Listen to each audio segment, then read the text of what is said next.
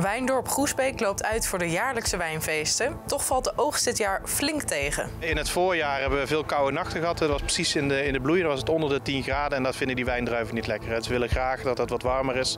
En verder in het nieuws vandaag. Oude stoomtrein pendelt tussen Nijmegen en Den Bosch. En hardloopwedstrijd Hete Run is klaar om te groeien.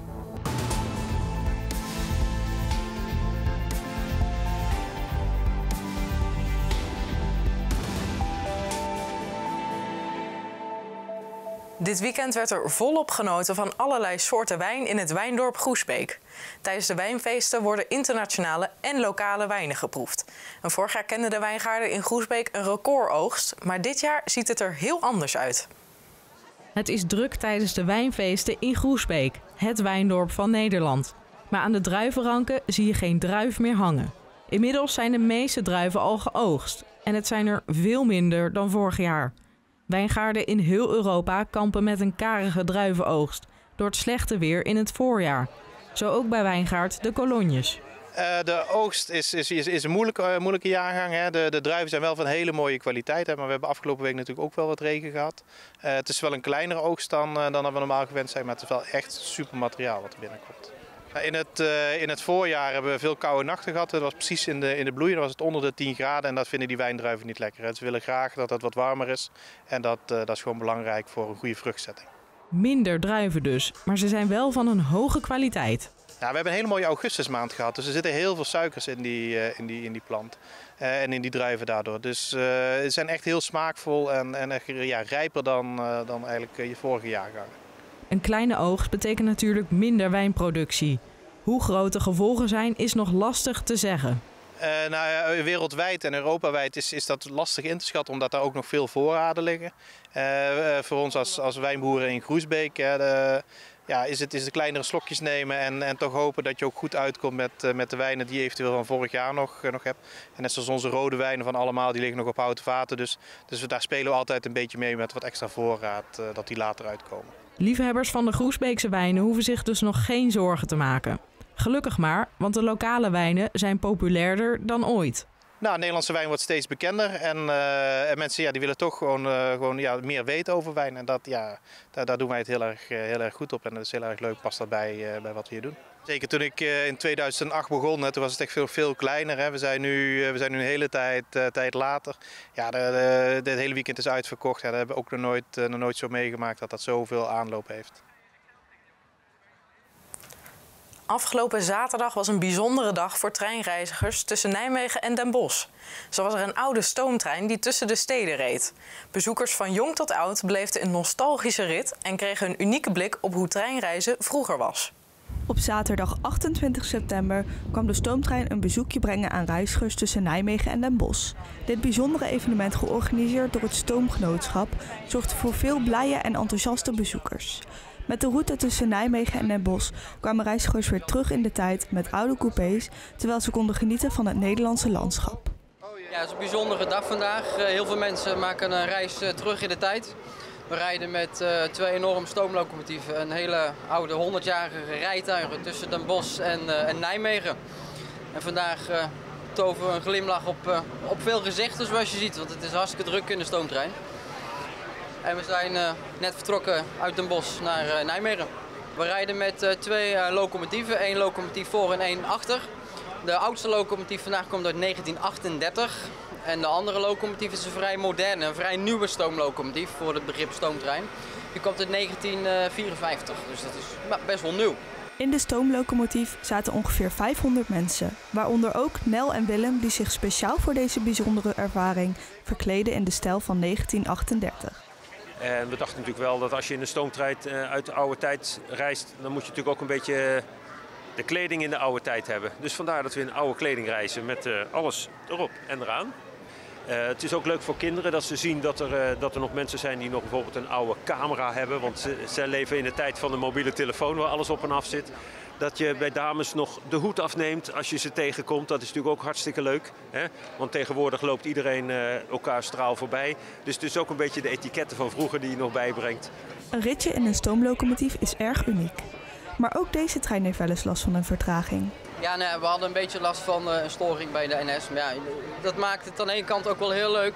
Want je ziet, het hoort bij de beleving van een stoomtrein op het hoogspoor. Voorafgaand zo'n dag uh, ligt er al, maanden aan voorbereiding uh, is vooraf gegaan. Plannen met ProRail, want ja, we moeten tussen de, tussen de reguliere treinen van NS worden ingevlochten. En dat is heel veel werk. We zijn absoluut tevreden. De, de ticketverkoop is al ver van tevoren gestart. En vandaag verkopen we ook nog de nodige tickets op het station in Den Bosch. En ik begreep van uh, mijn andere collega van Stoomgenootschap dat daar ook, ook rijen staan, veel vraag. Dus veel mensen willen nog een, een ritje meemaken.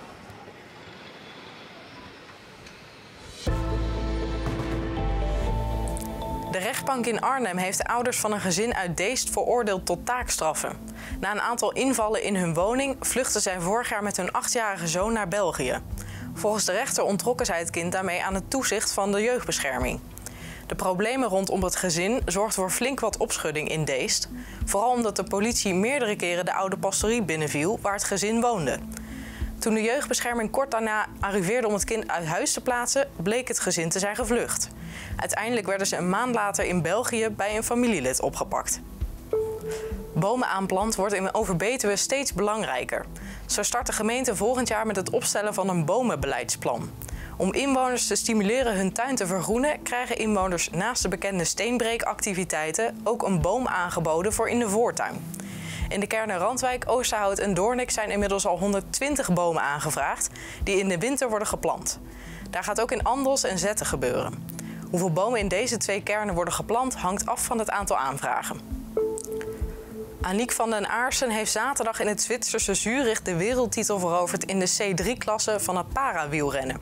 De titel in die wegrace was voor de Van der Aarsen extra welkom, omdat zij zich niet had weten te kwalificeren voor de Paralympische Spelen in Parijs. Nederlands wist tijdens het WK parawielrennen in Zurich 11 wereldtitels te bemachtigen. Het parawielrennen omvat handfietsen, driewielers, fietsen en tandems.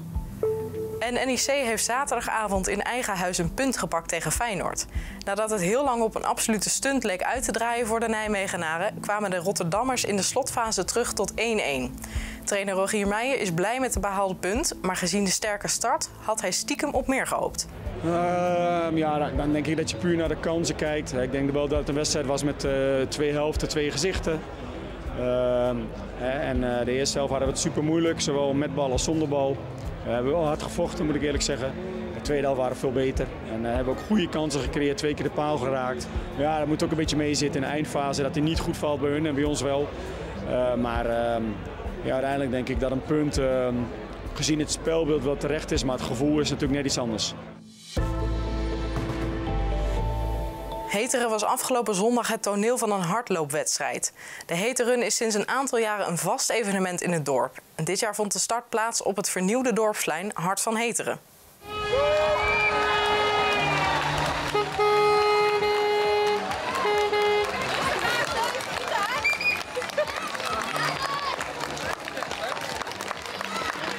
Heterun is vooral een uh, kleinschalig evenement voor uh, de inwoners van, van Heteren en omgeving. We willen de laatste tijd wel zien dat er steeds meer mensen opkomen van, uh, van verder weg. Bijvoorbeeld uit Zwolle, Utrecht, Arnhem, Zeist, noem maar op. Het is de zevende editie. En uh, ja, het krijgt eigenlijk steeds meer voeten ook in het dorp. Wordt ook gedragen door lokale inwoners en een grote groep vrijwilligers. Ja, eigenlijk zonder die vrijwilligers kun je natuurlijk geen evenement neerzetten. Dus daar zijn we heel blij mee. De Heteren kent verschillende routes en afstanden. Zo is er voor de kids de 500 meter en de 1000 meter.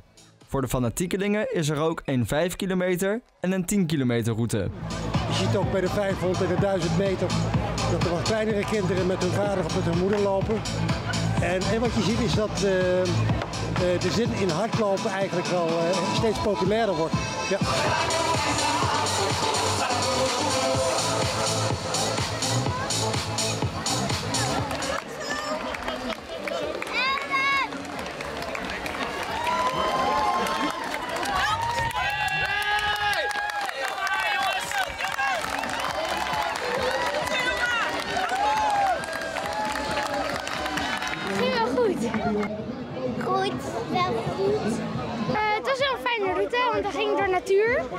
En ook gewoon een fijn asfalt waar je lekker hard kan. Ja, mooi door de uiterwaarden heen. Het, uh, af en toe uh, omhoog en omlaag. Dat uh, maakt het wat, wat uitdagender dan een vlak. Vanuit de organisatie klinkt het als een geslaagde dag. Mooi weer, een gezellige sfeer, iedereen geniet en vooral plezier hebben. Dat is het belangrijkste.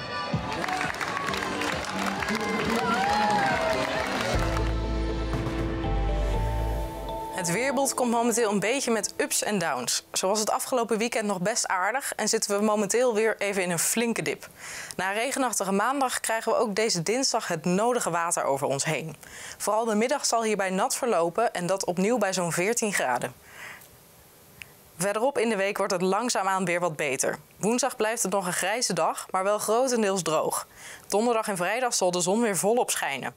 Nadeel is wel dat de nachten daarbij flink kouder worden, met eind deze week slechts 5 graden als minimum. Dit was het RN7 Regio Nieuws van maandag 30 september. Kijk voor het actuele nieuws op onze website rn7.nl of in de gratis RN7-app. Nu op RN7 zie je een nieuwe aflevering van de Streek in, waarin we het jachtslot in Molenhoek bezoeken. Morgen zijn wij weer, dus graag tot dan.